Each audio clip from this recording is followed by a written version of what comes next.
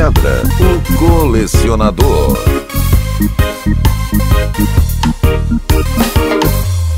The emotion. What I already know. I've never been the best at letting go.